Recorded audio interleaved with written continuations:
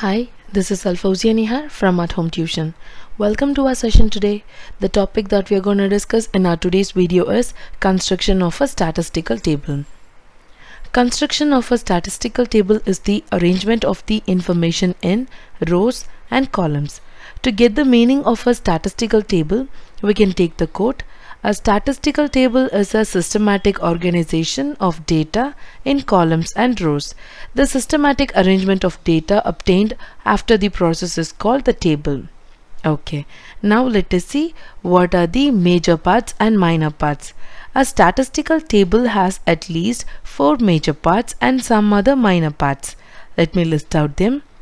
Title, box head, I mean the column captions, the stub, which is nothing but row captions, the body, prefatory notes, footnotes, source notes. So these are the major and minor parts. You can have a glance over that. Okay, the general sketch of table indicating its necessary parts, I'm going to show that on the board. These are the necessary parts in a general sketch of a table. There should be a title and prefatory notes about the title and the box head and then you'll be having row captions here and column captions. I can draw two more cells here. I'm just giving you a general impression. And here would be the stub entries and the body of the table.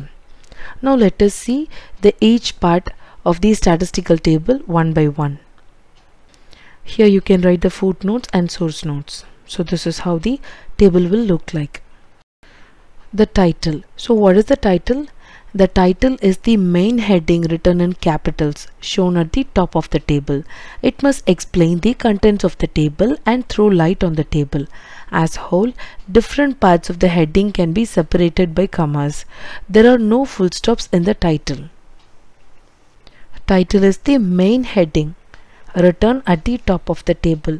It must explain the contents of the table so this is what a title will give the details.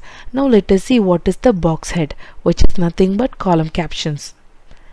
The vertical heading and subheadings are called box head which is also known as column caption. The space where the column headings are written is called as box head. Let me show it.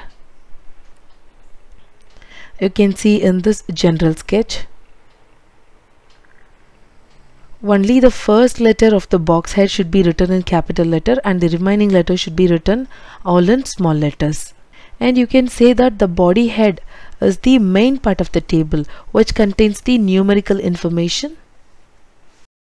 Okay, this is the body and I'm, I'm talking about the box head. The vertical heading and subheading of the column are called columns captions.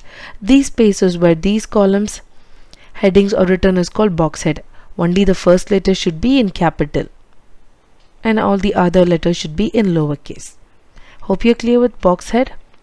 Okay, now let us see what is the stub.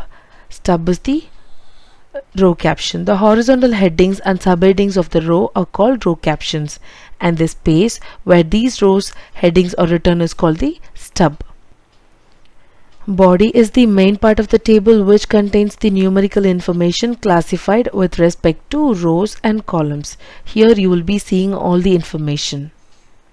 And here you will be writing the prefatory notes. A statement given below the title and enclosed in brackets usually describes the units of measurements and is called prefatory notes in case if there is any information it will be mentioned here. And the footnotes these appear immediately below the body of the table providing additional explanation. As usual it appears at the foot of the body giving further explanation. And what about source notes?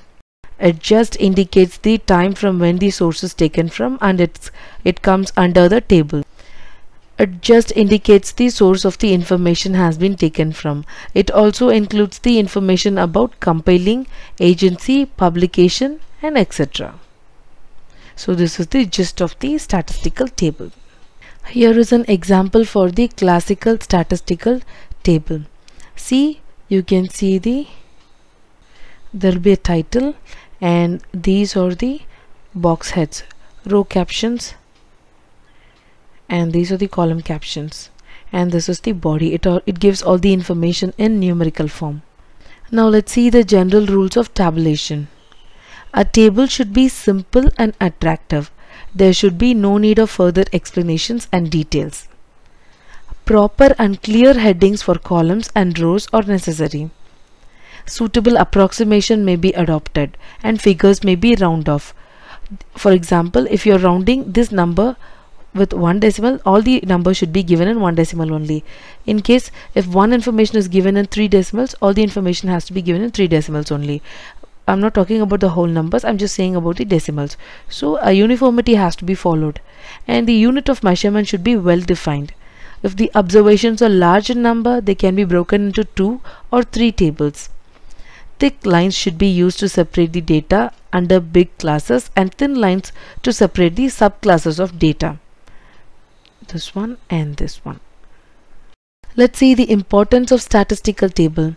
The main object of the table is to simplify the complex observ observation so that it can be easily understood. Since data are arranged under the title with numbers, it can be easily identified and used for the required purpose. This tabulation makes the data brief so we can graph it easily. We can analyze easily. It will be easier for you to graph these information it will be very useful in finding the mistakes in the information. In da table data is divided into various parts with totals, subtotals for each part so that the relationship between the various parts is easily understandable. Now let us see the rules to be followed. There should be proper title for each table. We have to give title to each column and row. It should be simple and attractive. To reduce the unnecessary detail, the figure should be approximated before tabulation. Percentages are given in the table if necessary. So if there is anything, there will be merits and demerits. Now let us see the limitation of the statistical table. So far we discussed the importance and rules of statistical table. Now let us see what are the limitations of statistical table. Statistical table contains only numerical data. So we cannot get the detailed information. Am I right? And also it is a bit difficult to understand the statistical data table for a common man. Qualitative expressions is not possible through table, only quantitative expressions are possible. So these are the limitations of statistical table. To construct a table, it is important to learn first what are the parts of a good statistical tables are. When put together in a symmetrically ordered manner, these parts form a table. The simplest way of conceptualizing a table may be data presented in rows and columns along with some explanatory notes. Tabulation can be done using one-way, two-way and three-way classification depending upon the number of characteristics involved. So for a good table, these are the essential things to be included.